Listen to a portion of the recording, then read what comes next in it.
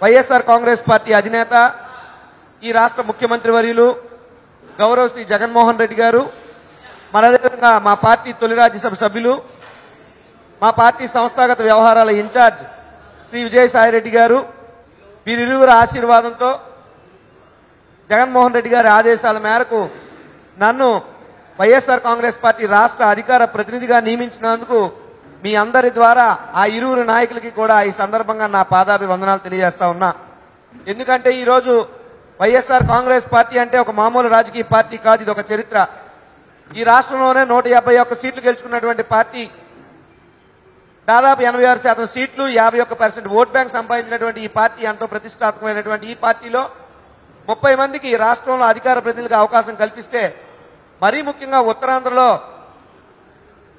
ఒక మహామహా యోధులతో పాటు దాదాపు తొంభై పర్సెంట్ ఎమ్మెల్యేలకు అవకాశం కల్పించినటువంటి ఈ కమిటీలో ఈ అధికార ప్రతినిధుల జాబితాలో ఒక సామాన్యుడైన నాకు కూడా నిజంగా అధికార ప్రతినిధిగా అవకాశం లభించడం నిజంగా నా జన్మ చరితార్థమైందని చెప్పి సందర్భంగా తెలియజేస్తూ అదేవిధంగా విశాఖపట్నంలో నా తొలి దశ నుండి నాకు ఎల్లవేళలా ఈ సహాయ సహకారాలు అందించినటువంటి మీడియా అన్నలకు పెద్దలందరికీ కూడా మరొకసారి నా హృదయపూర్వక ధన్యవాదాలు తెలియజేస్తా ఉన్నా.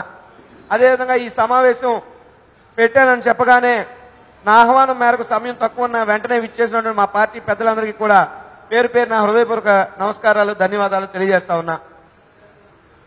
ఇక ఈ రోజు సమావేశం ముఖ్య అంశం జనసేన పార్టీ అధినేత పవర్ స్టార్ పవన్ కళ్యాణ్ గారు.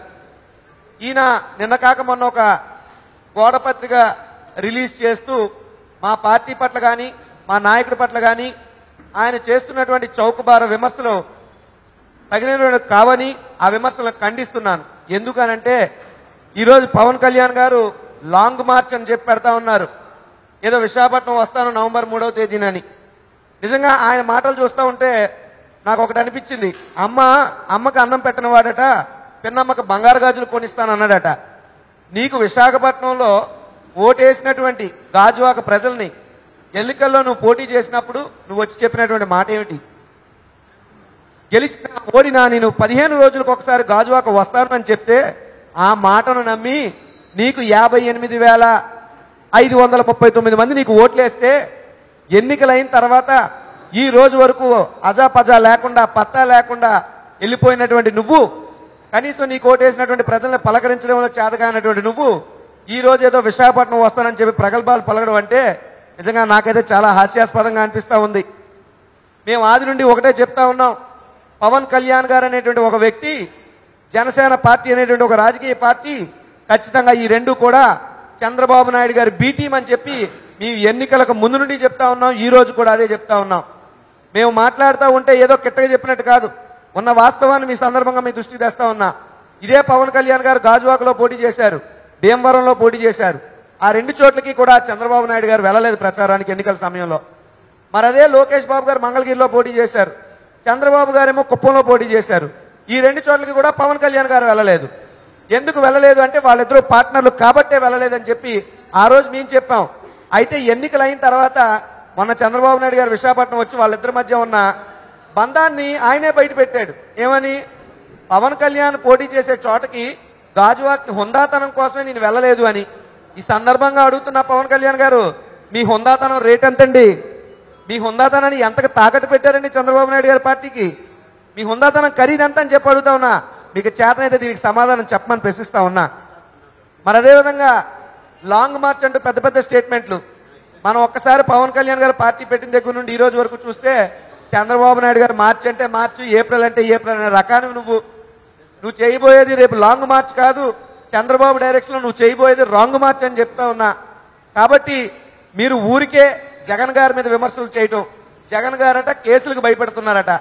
మీకు తెలియదేమో భయానికే మీనింగ్ తెలియని బ్లడ్ వైఎస్ఆర్ కుటుంబానిది. ఆ రోజుల్లో అప్పటి హైకమాండ్ సోనియా గాంధీ గారిని ఎదిరించి కూడా పాదయాత్ర చేసి ప్రజల్లో నిలిచి అప్పటి కాంగ్రెస్ పార్టీకి గెలిపించినటువంటి నాయకుడు రాజశేఖర రెడ్డి గారు అయితే ఆయన మరణానంతరం అదే సోనియా గాంధీ గారిని దేశాన్ని గడగడలాడించిన సోనియా గాంధీ గారిని అప్పటి ప్రధాని గారిని ఆ పార్టీని కూడా ఎదిరించి ఎదిరించినందుకు ఆయన మీద అక్రమ కేసులు పెడితే జైలుకైనా వెళ్ళారు తప్ప భయపడే ప్రసక్తి లేదంటూ మళ్ళీ వచ్చి ప్రజల్లో తిరిగారు పాదయాత్ర చేశారు గెలిచారు ఈరోజు ముఖ్యమంత్రి అయ్యారు అది ఆయన చరిత్ర. ఆయనకి భయం అని మాట్లాడటం అంటే మీకు మతి ఉందా పోయిందా అని చెప్పి సందర్భంగా నేను అడుగుతా ఉన్నా. మరి అదేవిధంగా కేంద్రం దగ్గరికి వెళ్ళినప్పుడు జగన్మోహన్ రెడ్డి గారికి సమయం ఇవ్వలేదనో లేదా మరోటనో మరోటనో మాట్లాడుతూ ఉన్నారు. ఈ సందర్భంగా ఒక విషయాన్ని చెప్తా ఉన్నా. అమిత్ షా గారు ఈ దేశంలోనే అత్యంత మోడీ గారి తర్వాత అత్యంత ప్రాధాన్యం ఉన్నటువంటి నేత. ఆయన పుట్టినరోజు పూట జగన్మోహన్ రెడ్డి గారు ఆయన దగ్గరికి వెళ్తే దేశంలో ఉన్నటువంటి ఎంతో మంది నాయకులు ఆయన కలవడానికి వస్తే అంత క్లిష్ట పరిస్థితుల్లో కూడా జగన్మోహన్ రెడ్డి గారికి నలభై ఐదు నిమిషాల పాటు అపాయింట్మెంట్ ఇచ్చి సవివరంగా సగౌరవంగా జగన్మోహన్ రెడ్డి గారితో చర్చలు జరిపినటువంటి సందర్భంలో అది ఒక రాష్ట్ర ముఖ్యమంత్రి ఒక నిజాయితీ గల ముఖ్యమంత్రి ఒక దమ్మున్న ముఖ్యమంత్రి ఢిల్లీకి వెళ్తే ఎంత క్లిష్ట పరిస్థితిలో ఉన్నా అంత అత్యధిక సమయం ఇచ్చారంటే అది జగన్మోహన్ రెడ్డి గారి గొప్పతనం అని చెప్పి సందర్భంగా చెప్తా ఉన్నా. మరి అదేవిధంగా ఇసుక మీద మాట్లాడారు. నిన్న ఇసుక మీద ఏదో మార్చి చేస్తా అంటున్నారు. ఈ సందర్భంగా ఒకటే చెప్తా ఉన్నా. గతంలో అంటే వర్షాలు లేవు. ఎండలు ఎండి ఎండి ఎండి ఉండబట్టి ఇసుక దొరికేది. అది చంద్రబాబు నాయుడు గారు ఐదేళ్ళకి ప్రభుత్వం కాబట్టి వర్షాలు లేవు. కానీ ఇది జగన్మోహన్ రెడ్డి గారు గోల్డెన్ లెక్క ప్రభుత్వం ఇక్కడ విస్తారంగా వర్షాలు పడతా ఉన్నాయి అవిశ్రాంతంగా వర్షాలు పడతా ఉన్నాయి. కాబట్టే గత యాభై ఒక్క రోజుల్లో గోదావరిలో చూడండి గత డెబ్బై ఒక్క రోజుల్లో కృష్ణాను చూడండి కృష్ణానదిని తుంగభద్ర కానీ పెన్నా కానీ వాగులు వంకులు అన్ని పొంగి ప్రవహిస్తూ ఉన్నాయి. విస్తారంగా వర్షాలు పడతా ఉన్నాయి. ఇటువంటి పరిస్థితుల్లో దాదాపు ప్రభుత్వం రెండు వందల రీచ్లు గుర్తిస్తే అందులో అరవై తొమ్మిది రీచ్లకు మాత్రమే తీయడానికి అవకాశం ఉంది. ఆ అవకాశం కూడా వెళ్ళే వాహనాలు కూడా ఎక్కడికక్కడ ఇబ్బందులు పడేటువంటి పరిస్థితుల్లో ఉన్నాయి. కాబట్టి ఖచ్చితంగా మొన్న జగన్మోహన్ రెడ్డి గారు పెట్టిన సమీక్షలో కూడా అధికారులు చెప్పారు. జగన్మోహన్ రెడ్డి గారు కూడా ఆదేశాలు ఇచ్చారు. ఖచ్చితంగా వర్షాలు తగ్గగానే కాస్తో కోస్తో ఎండలు రాగానే ప్రజలకు అవసరమైన మేర అవసరాలకు మించిన కూడా ఇసుకని సప్లై చేసే విధంగా ఈ ప్రభుత్వం విధి విధానాలను రూపొందిస్తుందని చెప్పి ఈ సందర్భంగా స్పష్టంగా తెలియజేస్తా ఉన్నా. మరి అదేవిధంగా పవన్ కళ్యాణ్ గారిని చూస్తా ఉంటే ఆయన విమర్శలు చూస్తూ ఉంటే ఆయన నిజంగా జనసేన పార్టీకి అధ్యక్షుడా లేక టీడీపీ పార్టీకి వర్కింగ్ ప్రెసిడెంట్ అన్న విషయం కూడా నాకు అర్థం కావట్లా. నిజంగా పవన్ కళ్యాణ్ గారేమో వేలకు వేలు పుస్తకాలు చదివాను అంటాడు ఆయన. ఒక పవన్ కళ్యాణ్ గారిని నారా లోకేష్ గారిని తీసుకుంటే నాకు నిజానికి ఇద్దరికి పెద్ద తేడా అయితే తెలియట్లా. పవన్ కళ్యాణ్ గారు లోకేష్ గారు ఇద్దరు సరి సమానంగానే అనిపిస్తా ఉన్నారు. ఎందుకు ఈ మాట చెప్తా ఉన్నానంటే లోకేష్ గారేమో విదేశాల్లో చదువులు చదివారట. ఆయనకేమో వర్ధంతికి జయంతికి తేడా తెలీదు. ఈయనేమో వేల పుస్తకాలు చదివాడట. ఈయనకేమో ఇంటర్వ్యూకి అపాయింట్మెంట్కి తేడా తెలీదు. లోకేష్ గారికేమో మన దేశానికి రెండు వేల పన్నెండులో అబ్దుల్ కలాం గారు ప్రెసిడెంట్ ఆఫ్ ఇండియా అని ఆయన అంటాడు. పవన్ కళ్యాణ్ గారేమో మన దేశానికి పంతొమ్మిది వందల నలభైలోనే స్వాతంత్రం వచ్చిందని అంటారు. మనకేంటి కర్మ? ఇటువంటి వ్యక్తులా రాజకీయాలు చేసేది. ఇటువంటి మీరా రాజకీయాలు చేసేదని చెప్పి అడుగుతా ఉన్నా. నిజంగా ఈరోజు లోకేష్ గారు కానివ్వండి. లోకేష్ గారేమో చంద్రబాబు నాయుడు గారికి పుత్రుడైతే పవన్ కళ్యాణ్ గారు దత్తపుత్రుడు. వారిద్దరి మధ్య ఒక సంబంధం కూడా చెప్తాను నేను ఈ సందర్భంగా. వాళ్ళిద్దరికి ఎంత సోదర వాత్సల్యం అంటే పెద్ద పెద్ద మాటలు మాట్లాడే పవన్ కళ్యాణ్ గారు ఇదే విశాఖపట్నం వేదికగా విశాఖపట్నం ఎయిర్పోర్ట్ వేదికగా చంద్రబాబు నాయుడు గారి తనయుడు లోకేష్ బాబు అండ్ కో కలిపి దాదాపు ఇరవై ఐదు లక్షల రూపాయల చిరులు చిరుతిళ్ళు ఎయిర్పోర్ట్లో తిన్నారు అంటే అది ఎంత ఘోరం. కనీసం ఇప్పటి వరకు దాని మీద ఒక స్టేట్మెంట్ అన్న పవన్ కళ్యాణ్ గారు ఇచ్చారని చెప్పి అడుగుతా ఉన్నా.